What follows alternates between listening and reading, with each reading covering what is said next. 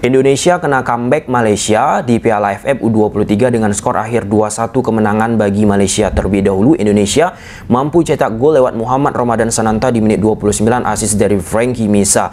Kemudian Malaysia bisa samakan kedudukan lewat Fergus Tierney di menit 54 dari titik putih penalti dan gol kedua Malaysia lewat Fergus Tierney lagi di menit 63. Status Fergus Tierney ini sebagai pemain pengganti super sub ketika ia dimasukkan oleh pelatih Malaysia teman-teman mampu menciptakan efisiensi efektivitas di depan gawang Indonesia bagi Malaysia. Seperti biasa sebelum lebih jauh aku nggak pernah bosan-bosannya untuk ingatkan teman-teman. Ketika teman-teman tonton video ini sekalian tekan tombol like-nya. Nah, ada yang ingin aku tanyakan terlebih dahulu kepada teman-teman yang menonton video YouTube Tommy Deski terkhusus topik Malaysia menghadapi Indonesia ini.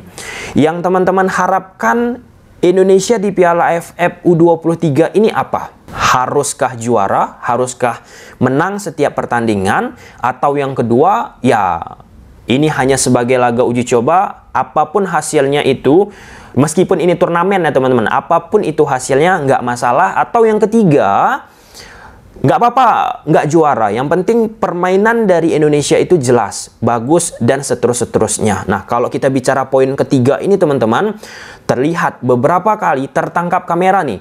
Coach Shin Taeyong merasa geram ataupun kesal dengan apa yang dilakukan oleh pemain-pemain Indonesia kita. Nah, menurut teman-teman apa atau ada opsi-opsi pendapat teman-teman sendiri tentang Indonesia berlaga di Piala AFF U23 ini? Karena sebelum aku membuat video ini, aku sempat mampir ke beberapa akun pecinta sepak bola Indonesia membahas pertandingan Malaysia menghadapi Indonesia. Nah, di situ aku baca beberapa komen pecinta sepak bola Indonesia kita tentu beragam, teman-teman. Tapi salah satu yang paling sering aku jumpai menyayangkan kenapa Indonesia kalah menghadapi Malaysia. Dan aku pun merasa cukup mengerti kenapa supporter kita mengeluarkan statement seperti itu. Karena Malaysia kita tahu rival sejati dari Indonesia. Ya banyak orang mengatakan demi uh, kian teman-teman. Ya walaupun ada juga orang yang mengatakan tidak masalah ini bukan kalender FIFA Ketua PSSI dan PSSI sudah katakan ini tidak punya target dan Coach Sintayong juga katakan ini sebagai friendly match melihat permainan Indonesia dan seterus-seterusnya.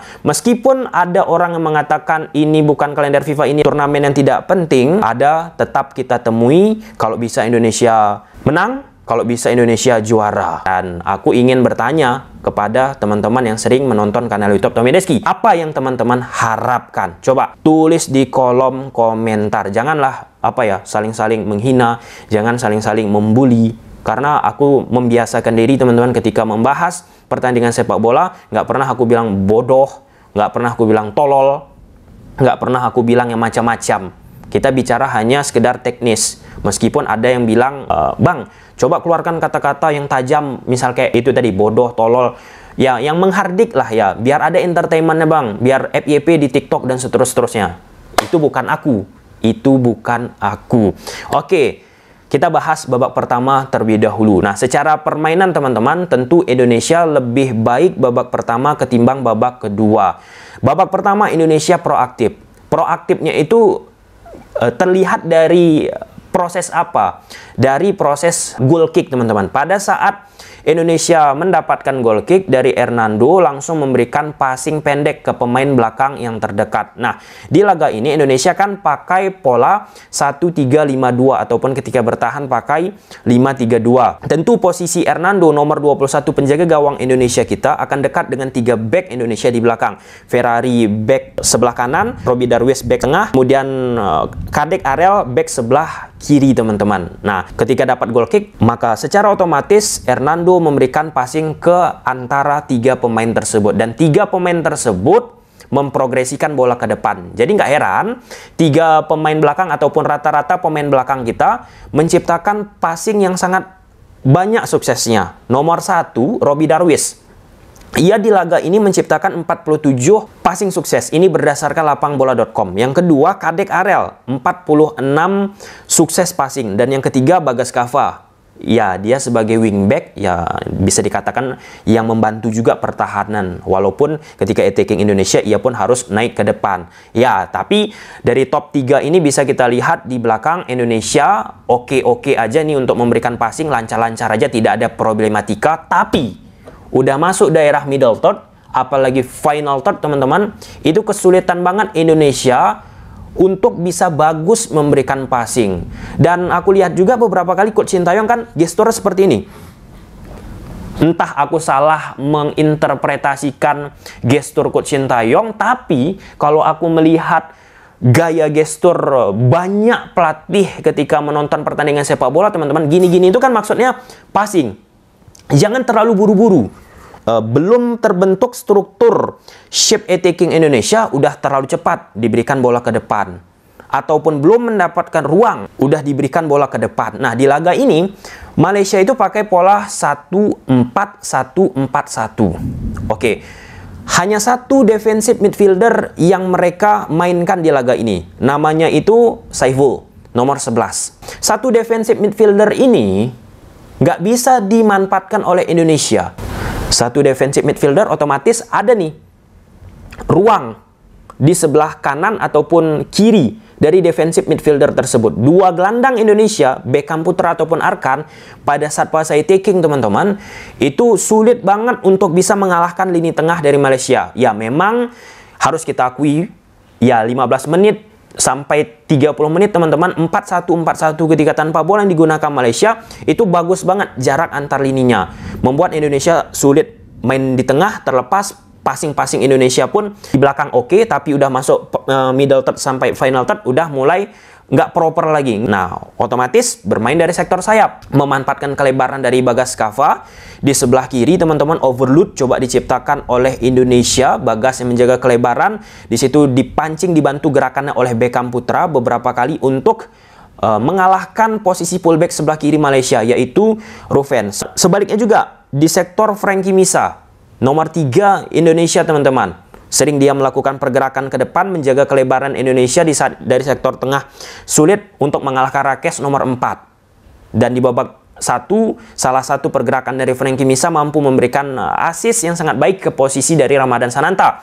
Dan yang aku respect dari Malaysia teman-teman, mereka belajar dari situasi babak pertama masuk babak kedua. Di babak kedua mereka terlihat berubah polanya dari 4141 jadi 4231. Beberapa momentum aku saksikan. Dan nomor 7, Akmal yang sering juga membantu attacking itu turun ke bawah, track back untuk membantu nomor 4 Rakes yang terus-menerus dieksploitasi oleh Frankie Misa. Oke ya, Akmal turun membantu Rakes, Frankie Misa berhasil intensitas penekanan yang dilakukan oleh dirinya bisa dituruni tingkat keberbahayaannya. Dan aku rasa itu good game oleh Malaysia dengan pakai pola 4-2-3-1 pun tentu defensive midfielder yang ada ruang di sektor kanan ataupun kiri dari Malaysia teman-teman lebih aman. Lebih aman. Dan kalau kita bicara build up Malaysia di babak pertama itu mati total. Yang membedakan itu Malaysia di babak pertama lambat banget sirkulasikan bola. Coba lihat pertandingannya ulang teman-teman. Kebetulan aku ketika menonton pertandingan sepak bola itu aku rekam pertandingannya penuh jadi kalau misalnya ada beberapa momen yang ingin aku saksikan ulang bisa secara real time, secara cepat aku saksikan. Nah, di babak kedua Malaysia lebih cepat progresikan bola sehingga pada saat fase build up di babak pertama teman-teman nomor 11 sama 20 Malaysia itu bisa dimatikan oleh Arkan sama Beckham Putra. Di main marking langsung. Di marking, ditempel. Di babak kedua, dari posisi penjaga gawang nomor 23 Rahalim dengan cepat memberikan bola ke depan. Sehingga Beckham ataupun Arkan harus dengan sigap kan. Nah, salah satu yang dibutuhkan terkait tentang kesigapan yaitu apa? Fisik, stamina. Ini nggak bisa kita pungkiri lagi teman-teman, walaupun aku yakin stamina Indonesia ada, tetapi sangat berat rasanya di saat Malaysia di babak kedua lebih berani, lebih cepat untuk bisa memberikan bola ke lini depan. Nah, kemudian terakhir banyak yang bertanya kepada aku tentang penalti yang didapat oleh Malaysia. Apakah keputusannya sudah tepat? Aku nggak mau bicara keputusannya sudah tepat atau tidak. Ini udah ke tiga ataupun empat kali aku membahas wasit saat laga Indonesia bertanding. Terakhir timnas Indonesia Putri di Piala AFF beberapa waktu yang lalu teman-teman. Itu banyak yang tanya ke aku, bang keputusan wasit sudah tepat nggak? Diving nggak pemain uh, Thailand saat itu dan seterus-seterusnya. Aku lebih menyikapi, mensiasati harusnya bagaimana pemain dan ya itu namanya teknik handling the ball. Seorang Tierney mencoba melindungi bola. Dan biasanya ketika di sesi latihan seperti yang dilakukan oleh Kadek Areal itulah tetapi dalam konteks ini Tierney berhasil mengkelabuhi. Cerdik banget nih di saat kita belum ada video asisten referee di uh, turnamen ini dan menganggap di situ ada kontak. Aku nggak mau menanggapinya, aku lebih menyikapi harusnya pemain seperti apa karena kalau kita bahas wasit, wasit, wasit, wasit, wasit, udah sering. Inilah dia pentingnya seorang pemain sepak bola bukan hanya tahu tentang taktik tetapi tahu juga nih tentang uh, law of the game. Ini sudah aku sampaikan di laga Timnas Indonesia Putri kemarin, kemudian di Liga Indonesia pun sudah aku sampaikan pentingnya pemain-pemain kita tahu aturan law of the game perwasitan. Kenapa? Karena dengan tahu kita law of the game perwasitan, kita pun tahu nih Bagaimana bisa kita mengelabuhi aturan tersebut untuk bisa menciptakan gol dan bagaimana kita bisa menghindari yang harusnya kartu merah bisa dapat kartu kuning, pelanggaran jadi tidak pelanggaran. Oke, ini diskursus yang cukup menarik. Ketimbang kita mempersoalkan diving, diving, diving, wasit-wasit yang salah. Yang tentunya di dunia sepak bola sering kita jumpai wasit salah. Jadi daripada kita mikiri wasit salah, wasit nggak benar, itu tadi kita pelajari. Oke, coba silahkan tulis di kolom komentar. Bye.